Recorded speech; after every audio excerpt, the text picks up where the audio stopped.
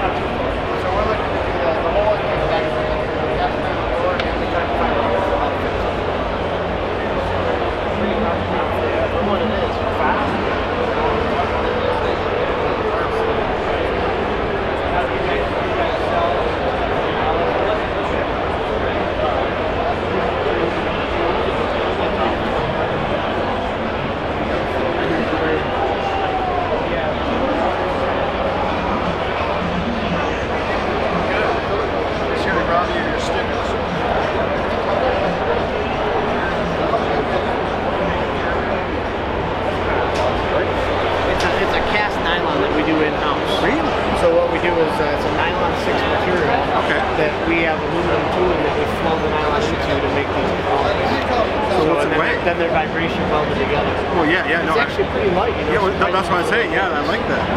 It's not gonna transfer any heat either. Exactly. And that's that's Wow. the biggest benefit. But you see, see, man, maybe we'll catch you for a drink. Um, you know, the I mean, all the GM manifolds. How many of them are aluminum? None of them. Well, yeah, it's all plastic. Yeah, Yeah, that's the reason why. Yeah. And then, you know, so for the heat rejection, we wanted to get back into that. All the other intakes are aluminum. Yeah. Aluminum base. So Oh, no, that's still beautiful stuff, and the, though. and the cost, the cost for the billet, it's a lot. Well, yeah, if you get injection mold, like a like a is it injection molding basically. It's kind of it's it's a ca- it's a, it's a casting process basically. Oh, okay, okay. But um, you know, we're the we're the only people in the United States that has the, the tool and the equipment. So And you can drill and tap it. well, there's uh, there's these are brass brass Oh, inserts. that Oh, that's. Oh, and I was just seeing on the bottom here. That, that Those right are the same thing. Same thing, Bra- brass brass, inserts. inserts. with the M6 Okay. insert, and and uh, they're actually melted into the material when they're put in, so it makes it real strong. This intake will pressure check to seven bar, so it's Yeah, that's. it's going to be wild stuff, It's to yeah. be higher than anyone can probably put out with the with the stock engine. That is really really And they're going to run 50 pounds of boost in it also. that block will crack way before that intake. The heads will lift off it. Yeah, They'll shoot to exactly. the moon. Yeah. And So- your name, sir? I'm Joe. Joe. John. Yep. John. Nice to meet you. Yes, please.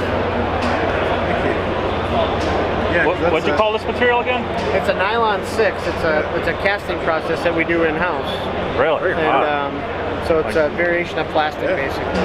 okay. So it's a sand mold then you make, and Not a sample, aluminum tools. oh, okay. So we have, we CNC cut aluminum tools and uh, and it works really well. Yeah.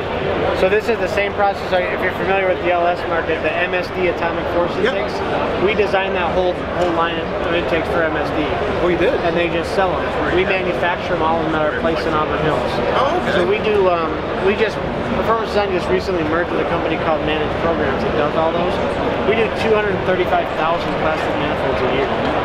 Now this obviously won't fit under uh, a stock hood. It will not fit under a stock hood, Yeah. but it, it is for hot, you know trucks, hot Oh yeah, no, rods. yeah, no, I You know, understand. yeah, yeah. believe it or not, we have customers with some of our intakes that will cut holes in their carbon. Oh no, I have a buddy with a, with a Holley High Ram, and the Holley High Ram's at, Yes. at least as tall as that. Well, it is. This is the same height as a Holley High. ram. Oh, is it? Okay, yeah. So yeah, it's really close. We so. wanted to stay in those characteristics to be No, able but I to. like the the. So it's got an O-ring on it. Yeah. So what it does is the O-ring just keeps it up into an indent, Yep. And you just twist lock it out. Oh, So it's it's pretty nice. that's a really really nice intake. So the carbon fiber is just kind of like the outer skin then, right? It's going to be a full carbon fiber lid when we're done. Oh, it is? Right now, Okay. this is just the SEMA show display piece.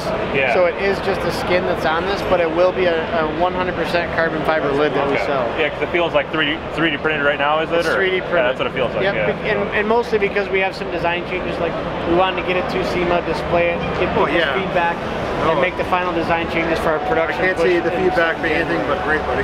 We've had awesome. it, it's been great. We've had awesome Yeah. feedback, and the intake's really, uh, really displaying nice. So. So thanks very much. I'm going to contact you. Yep. Thank you. Appreciate it.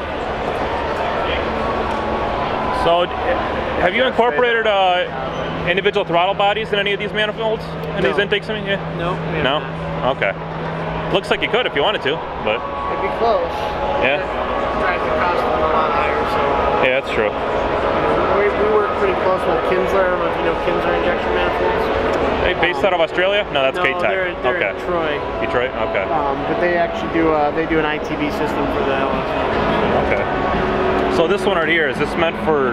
This is obviously a high RPM race application. Then is that what it's meant for? or- This is not high RPM. This No? is more this is more of a torque intake. Oh, really? Long runner. Long runner? Torque a bunch. Huh. So this intake's good to probably about 7,000 RPM. This intake's good to about 9,000 RPM, and same with that one's good to about 9,000. Okay.